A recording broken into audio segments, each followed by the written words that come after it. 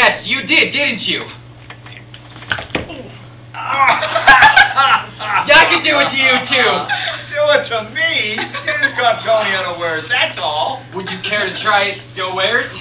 No, not play, I'll leave it this way, right? You're, you're doing wrestling moves, okay? You're coming in. Ah. Other arm. that was beautiful. He grabbed it. Wow. You let that boy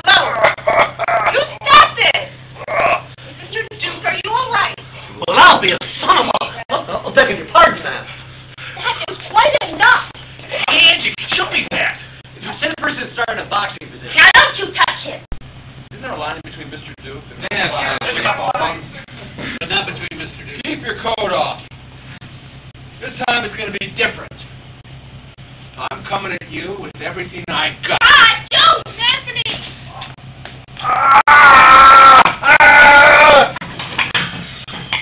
Papa, are you all right? Oh, oh, You let that boy alone. Stop it. Mr. Duke, are you all right? Well, I'll be a son of a... I'm begging your pardon, ma'am. I won't have quite enough of that. Hey, Angie, can you show me that? Send a person starting a boxing position. Darn it, I have missed my Now last you leave him alone. Now you leave him alone. If I had that with my fight with Sullivan, would have been different. Mr. Duke, leave your coat on, or leave your coat off. this time it's gonna be different. I'm coming at you with everything I've got.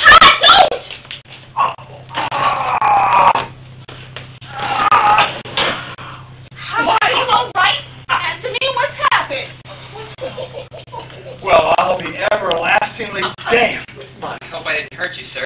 Johnny, you just did me the greatest favor of my life.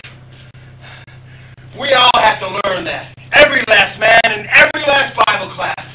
This could be the difference between life and death in hand-to-hand combat.